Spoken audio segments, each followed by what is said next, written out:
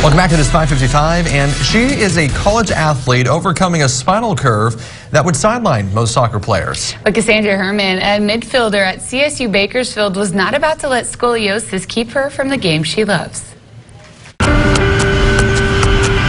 I started playing soccer when I was four, and then I've been playing ever since. Honestly, my entire family plays it. We've all grown up playing it. It brought us closer as a family. We always get together and just go and play all the time growing up, going to each other's games. It's all I've ever known.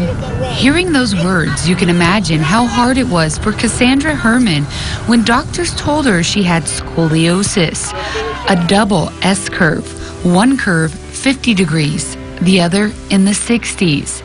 Kind of earth shattering, kind of like was very scary because I was only 13. I was stuck on not knowing if I'll ever be able to play again. I was not sure if what I'd be able to do again. Doctors told Herrman there was only one way she might be able to play again.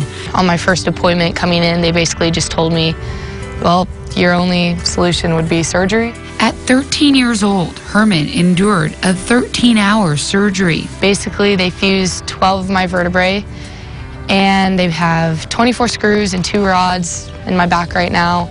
Six months of recovery and therapy later, she was back on the field. It was awful. My first practice back, it, it felt like everyone was just running laps around me.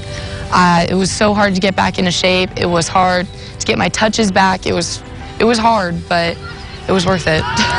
worth it because today she's still on the field playing for a Division One soccer program, a freshman at CSU Bakersfield. Don't let anything stop you. You can do anything.